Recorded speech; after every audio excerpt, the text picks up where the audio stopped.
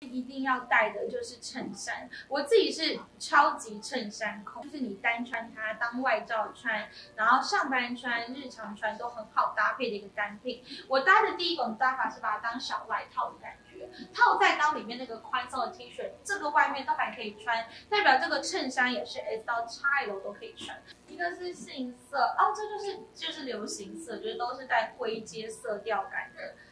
这是驼色雾绿跟驼嘛，这是驼，给大家看一下，它就是有一点雾雾感的灰感的那种驼色。再来一个，这就是刚刚讲到的，就是像比较偏抹茶绿的那种灰绿色。再来这一款我超推的是它的质感，因为你看它的质料是做这种很很流行之前的那种松饼饼。饼干的压格雪纺，所以它的整件布料就不会像一般的那种滑料啊，或者是棉麻这么的无趣。你近看它的整件衣服，会觉得它是比较有立体度、比较有细节的。它是可以遮住我的整个的肚肚、小腹、马鞍肉到我的屁股，遮好遮满，三百六十度，真的完全遮好遮。不用没有自信，我就穿出去就走路都有风。是驼色的当外套，驼色当外套。